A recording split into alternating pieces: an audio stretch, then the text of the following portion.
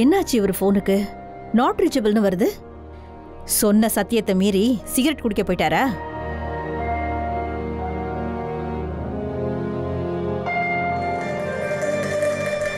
சுவாதி அப்பா எங்க போயிருக்காரு?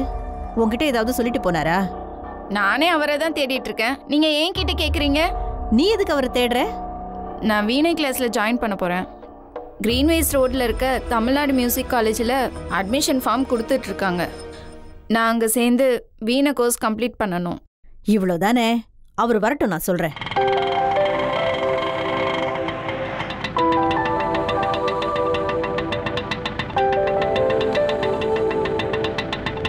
தோ அப்பாவே வந்துட்டாரு. நீயே சொல்லு.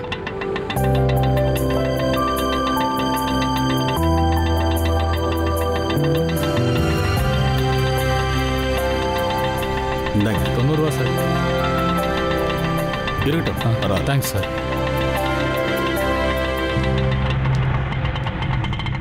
எங்க போனீங்க நீங்க? ஃபோன் போட்டா நாட் ரீச்சபிள்னு வருது. செல்லு சுவிட்ச் ஆஃப்ல இருக்கு. சரி எங்க போயிட்டு வரீங்க? ஆ அது என்னோட பழைய ஃப்ரெண்ட்ஸ் எல்லாம் பார்க்க போயிருந்தேன். ஃப்ரெண்ட்ஸை பார்க்க போறதுக்கு கார் எடுத்துட்டு போக வேண்டியதானே போகலாம் தான். இருந்தாலும் ஆட்டோவில் போனாதான் நாட்டு நடப்பு என்னன்னு தெரிஞ்சுக்க முடியும். வாய் தான் அப்படி பேசுது.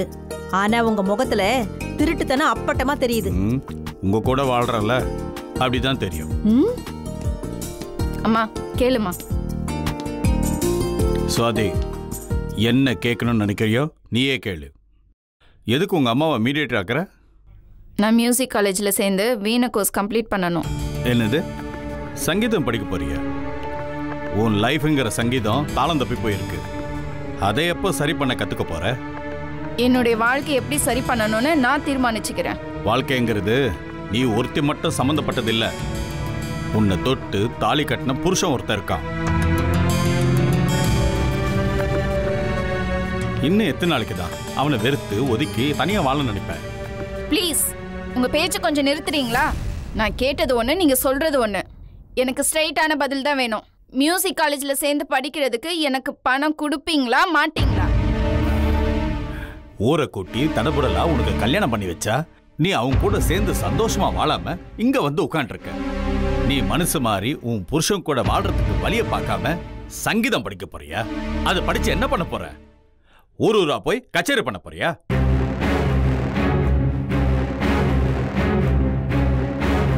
வீணை படிக்க போறாளாமா? வீணை இவ வாழ்க்கையே வீணா போய் கிடக்கு. அத பத்தி யோசிக்காம வீணை வாசிக்க போறாளாம்.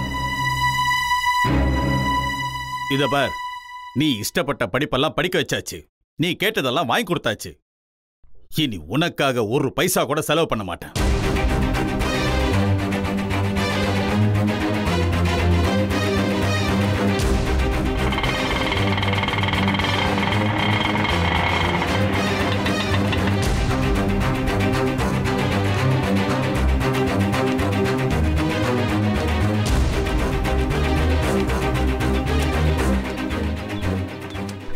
சார் இது இந்த பேக்கை வண்டியிலே விட்டீங்க சார். ஐயோ சாரிப்பா.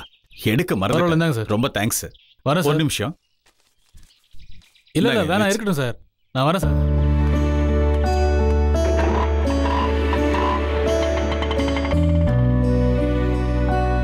சிட்டு. இங்க வா.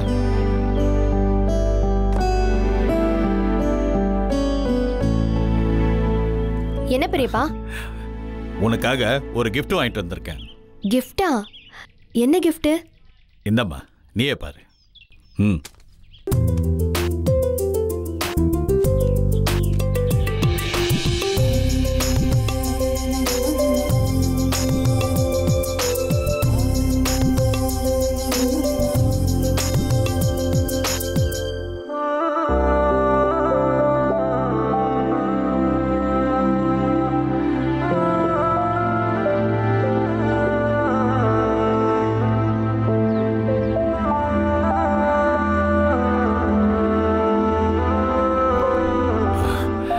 நல்லா படிச்சு ப்ளஸ் டூவில் பாஸ் ஆகணும்.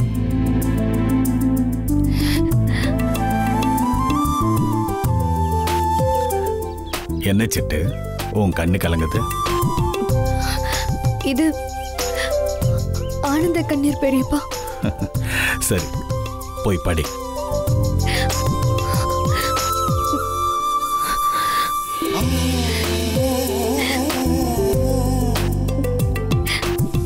என்ன படிக்க வைக்கிறவங்கள நான் என் உசுர் இருக்கிற வரைக்கும் மறக்க மாட்டேன். சரி நீ போய் படி. என் செல்ல மகளே. ம்.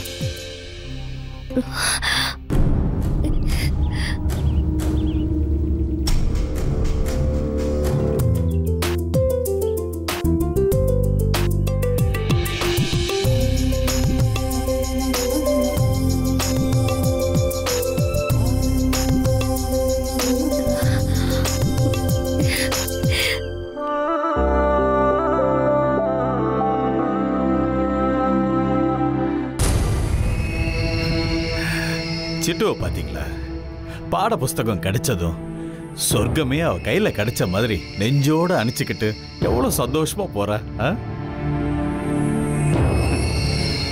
பட்னியா கிடக்கிறவங்களுக்கு தான் ஒரு கைப்பிடி சோத்தோட அருமை தெரியும். நம்ம பொண்ணுக்கு இதெல்லாம் சொல்லி கொடுக்காம வளர்த்தது நாம செஞ்ச தப்பு.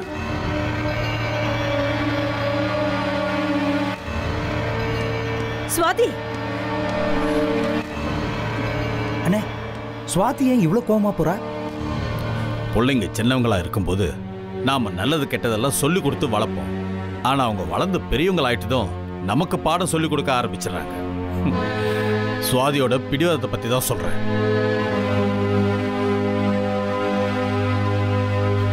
இன்னும் எத்தனை நாளைக்கு தான் அவள் இப்படி பிடிவாதமாக இருக்க போகிறாள்னே தெரியல.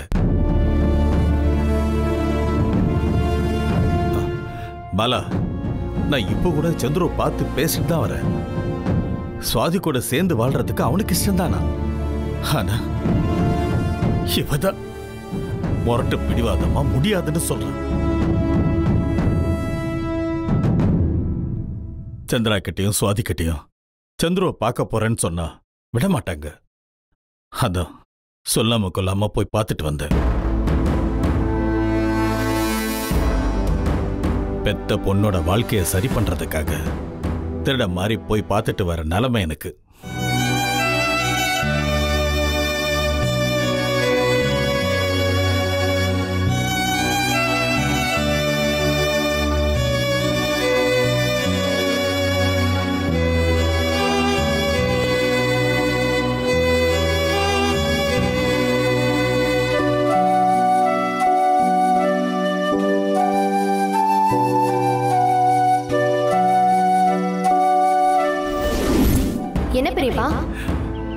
உனக்காக ஒரு gift வாங்கிட்டு வந்திருக்கேன். கிஃப்டா என்ன கிஃப்ட் இந்த நீயே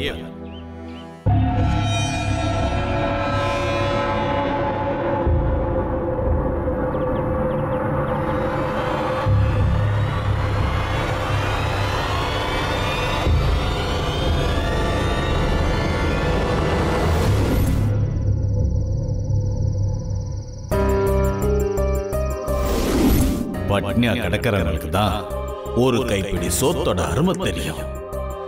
நம்ம பொண்ணுக்கு இதெல்லாம் சொல்லிக் கொடுக்காம வளர்த்தது நாம செஞ்ச தப்பு.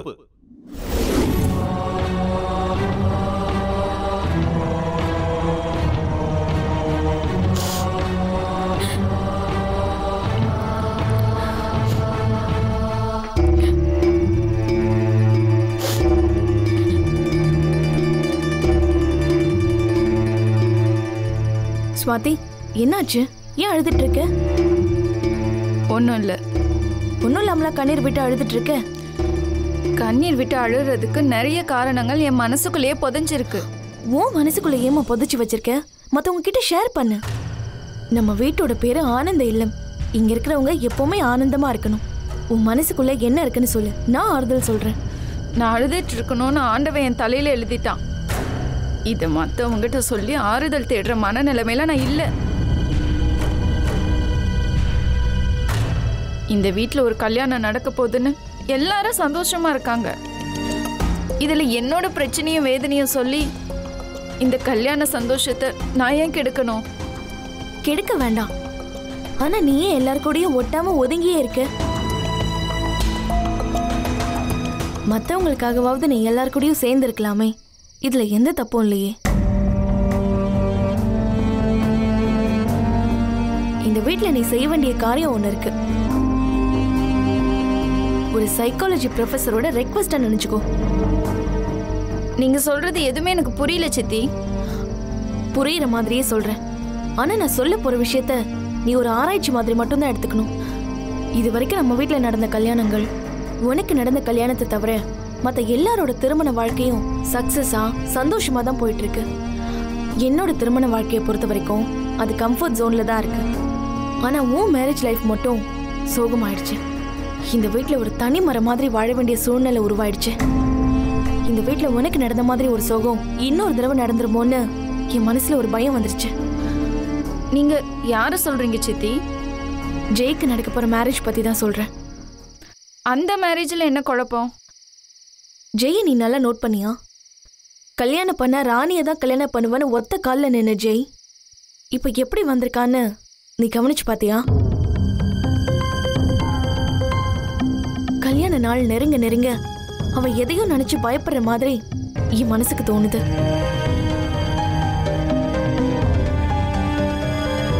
ஒர்க்லோடு அதிகம் மீடியாவில் இருக்கிறதுனால ஸ்ட்ரெஸ் அதிகம்னு இங்கே இருக்கிறவங்க நினைக்கிறாங்க. ஆனால் எனக்கு அப்படி தோணவே இல்லை.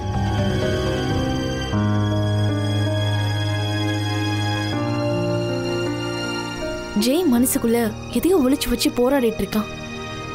கள்ளம் கபடம் இல்லாம இங்க இருக்கிற மத்தவங்களுக்கு ஜெய்யோட கலக்கத்தை புரிஞ்சுக்க முடியல. என் புருஷனாலையும் புரிஞ்சுக்க முடியல. நீங்க சொல்றது எதுவுமே எனக்கு புரிய மாட்டேங்குது சித்தி. ஜெய் புது மாப்பிள்ள மாதிரி இல்ல.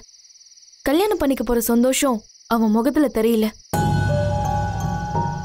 அடுத்தவங்கள பத்தி கோல் சொல்றதுக்கு நான் ஒன்னும் சரோஜினி இல்ல. என் அறிவுக்கு தோணுன விஷயங்களை தான் நான் உன்கிட்ட சொல்றேன். இது நம்ம குடும்பம். ஒருத்தருக்கு ஒருத்தர் அன்பாவும் பாசமாவும் இருக்கிறதுல நம்ம குடும்பம் மாதிரி வேற எந்த குடும்பமும் இல்ல. ஒருத்தர் கண்ணுல இருந்து கண்ணீர் வந்தா அதை பார்த்துக்கிட்டு யாரும் சும்மா இருக்க மாட்டாங்க. ஒரு கல்யாணத்தினால உனக்கு வந்த சோகம் மாதிரி இனியும் இந்த வீட்ல நடக்கவே கூடாது. அதை தான் நானும் விரும்புறேன். எனக்கு நடந்த மாதிரி இங்க யாருக்கும் நடக்க கூடாது சித்தி. நடக்காது. அதுக்கு என்ன செய்யணும்னா உன் மனசுல எந்த குறை இருந்தாலும் அதை உடனே வெளியில கொட்டி தீத்துரு. அப்பதான் நம்ம நினைச்சது நல்லபடியா நடக்கும். உன்னை தவிர இங்க வேற யார் மேலேயும் எனக்கு நம்பிக்கை இல்லை. நீ என் கூட ஒத்துழைச்சாதான் இந்த வீட்ல நடக்க போற இன்னொரு சோகத்தை தவிர்க்க முடியும். என்னால என்ன செய்ய முடியுமோ அது செய்யறேன் சித்தி. அப்பாடா என் சுவாதி சிரிச்சிட்டா. சிரிக்கிறப்போ நீ எவ்வளவு அழகா இருக்க தெரியுமா? முழு பௌர்ணமிய உன் முகத்துல பார்த்த மாதிரியே இருக்கு.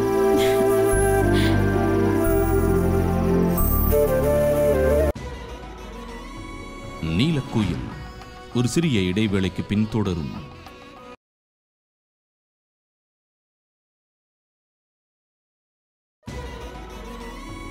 நீலக்குயில் தொடர்கிறது. ஆ ஹலோ? என்ன மூட் அவுட்ல இருக்கியா? நான் உனக்கு எதுக்கு ஃபோன் பண்ண தெரியுமா? நம்ம ரெண்டு பேரும் இன்னைக்கு ரெஸ்டாரண்ட்ல டின்னர் சாப்பிட போறோம். டேபிளும் ரிசர்வ் பண்ணிட்டேன். அது உனக்கு இன்ஃபார்ம் பண்ண தான் நான் கால் பண்ணேன். ஜெய் அதிசயமா இருக்கு. என்னால நம்பவே முடியல. என்ன நம்ப முடியல? இல்ல பல தடவை நான் வெளியில போலான்னு கூப்பிட்டிருக்கேன் நீ வேலை இருக்குன்னு சொல்லி எஸ்கேப் ஆயிடுவ. இப்போ என்னடானா நீயே கூப்பிடுற? சரி அதை விடு. நைட் நைன் ஓ கிளாக் கரெக்டாக ரெடியாரு நான் வந்து உன்னை பிக்கப் பண்ணிக்கிறேன். ஓகே? லவ் ப்ரப்போஸ் பண்ண நாள்ல இப்படி மூட் அவுட் ஆயிடுச்சேன்னு கவலையா இருந்தேன். அதெல்லாம் இப்போ ஓடியே போச்சு. இப்போ எப்போ ஒன்பது மணி ஆகும்னு வெயிட் பண்ணிக்கிட்டு இருக்கேன். ஒரு நிமிஷம் ஜெய்.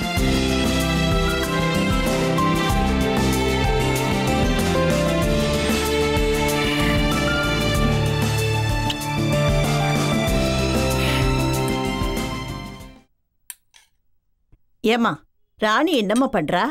அவளையும் வந்து சாப்பிட சொல்லுமா? அவளை கூப்பிட்டேம்மா. அவ வரமாட்டேன்னு சொல்லிட்டா. ஏன்? காலையில நடந்ததே நினைச்சிட்டு இருக்காளா இல்ல நீ அவ வெளியே போக ரெடி ஆயிட்டு இருக்கா வெளியே போறாளா? இந்த நேரத்துலயா? அவளை வர சொல்லு. நானே வந்துட்டேம்மா. நீ இந்த நேரத்துல எங்க கிளம்பிட்ட? ஆ? நீ எங்கேயும் போக வேண்டாம் அம்மா கூட உட்காந்து சாப்பிடு.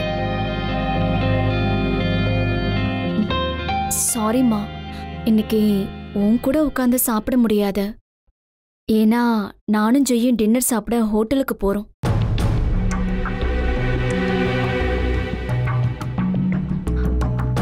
ஆ ஜெய்யோட ஃபோன் கால்க்காக தான் நான் வெயிட் பண்ணிக்கிட்டு இருக்கேம்மா ஹோட்டலுக்கு இன்னொரு நாளைக்கு போலாம். இன்னைக்கு இங்க உட்காந்து சாப்பிடு. மா இன்னைக்கு லவ் ப்ரப்போஸ் பண்ண நாள்மா அதை செலிப்ரேட் பண்ண தான் டின்னருக்கு போறோம். இங்க சாப்பிட முடியாதும்மா அப்ப நீ என் பேச்ச கேட்க மாட்ட. அப்படிதானே? மா ப்ளீஸ்மா காலையில நீ என்ன டிசப்பாயிண்ட் பண்ணிட்ட? இப்பவும் பண்ணிடாதம்மா. ராதமணி அவ தான் ஹோட்டலுக்கு போயிட்டு வரட்டுமே. அண்ணி அவ ஆசையா கிளம்பி ரெடியா இருக்கா? போயிட்டு வரட்டுமே. ஏற்கனவே முடிவெடுத்துட்டா. இனிமே மாத்திக்க போற?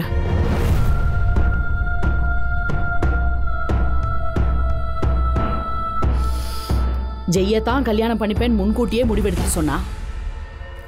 அதுக்கு சரின்னு தலையாட்டின மாதிரி இதுக்கும் தலையாட்டிட்டு போறேன். மா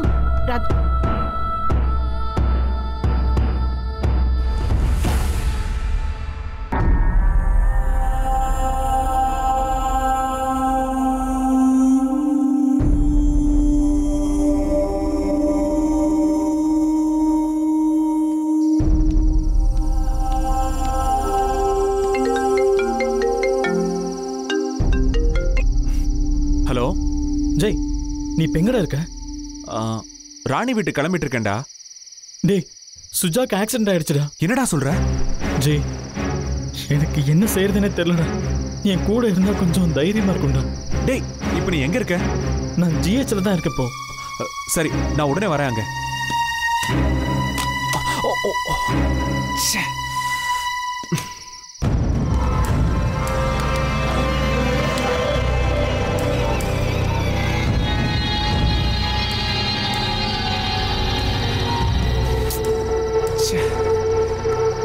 கிட்ட இன்ஃபார்ம் பண்ணலாம்னு நினைச்சா செல் வேற டேமேஜ் ஆயிடுச்சு.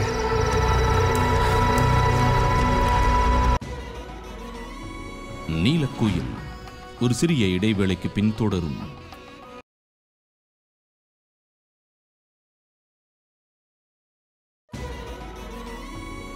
நீலக்குயில் தொடர்கிறது.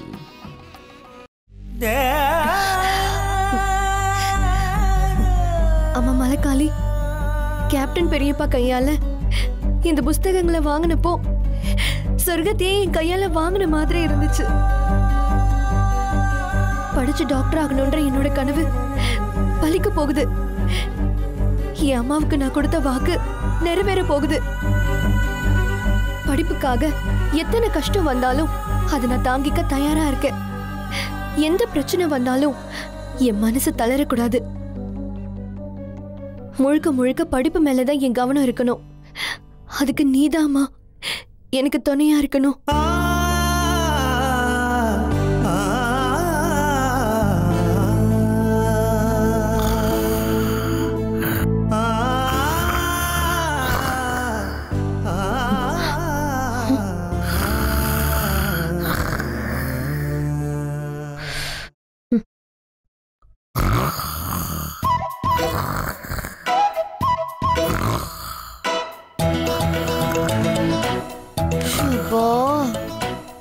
சரோஜினியோட கொரட்டை தாங்க முடியல.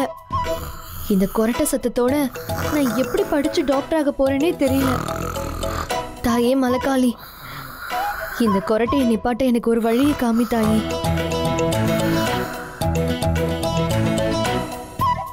ஆஹா கொரட்டை நின்றுச்சே. என்னடி பண்ற? என்னடி பண்றடி? இந்த சரோஜினிகிட்ட மோதி பார்க்க நினைக்காத. மோதி பார்க்க நினைச்ச மூட்டையை உடைக்கிற மாதிரி உடைச்சி வெங்காயம் பச்சை மிளகாய் எல்லாம் போட்டு ஆம்லெட் ஆக்கிடுவேன். ஆமா ஆம்லெட் ஆக்கிடுவேன் பார்த்துக்கோ. ஆ.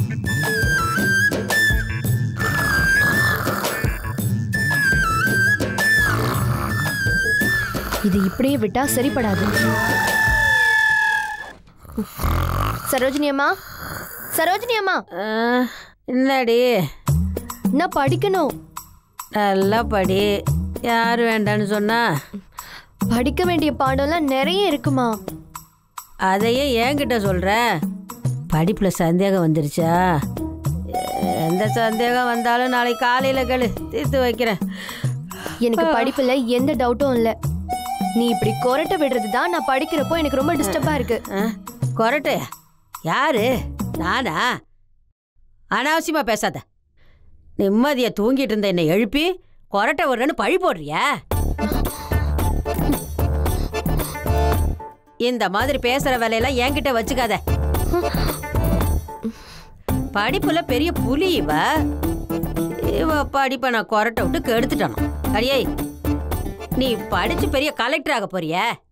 இங்க பாரு. நீ என்னதான் படிச்சாலும் ஒன்னத்தையும் கிழிக்க போறதில்ல. தெரிஞ்சுக்க. இதுக்கு மேலேயும் என் தூக்கத்தை நீ கெடுத்த? கெடுத்தா? ரவுடி பேபி சாங்ல டப்பாங்குத்து ஆடி உன் படிப்பை கெடுத்து வச்சிருவேன். பொழுது விடியற வரைக்கும் குத்து டான்ஸ் ஆடி உன்னை படிக்க விடாம பண்ணிடுவேன் ம். சமையல்கார சரோஜினிய ரவுடி பேபி ஆக்கி பார்க்க ஆசைப்படாத.